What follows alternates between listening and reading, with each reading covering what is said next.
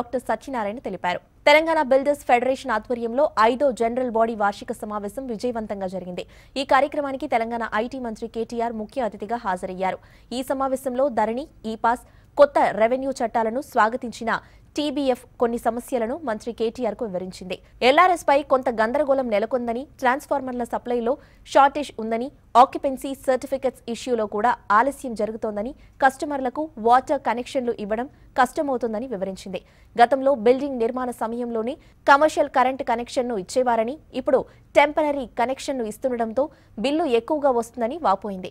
ఈ అంశాలపై ఎలక్షన్ల తర్వాత చర్చించి పరిష్కార మార్గాలు చూపిస్తామని తెలంగాణ బిల్డర్స్ ఫెడరేషన్కు మంత్రి కేటీఆర్ హామీ ఇచ్చారు. ఫెడరేషన్ తరపున మేము గవర్నమెంట్ రిప్రజెంట్ చేసి మా సాధక బాధకల్ని వాళ్ళకి తెలియజేసి వాళ్ళని వాళ్ళని ఒప్పించి మేము ఒకవేళ రైట్గా ఉంటే మేము మా సరి అయిన పద్ధతిలో మేము చెప్పగలిగితే వాళ్ళు ఖచ్చితంగా మా మాట వింటున్నారు.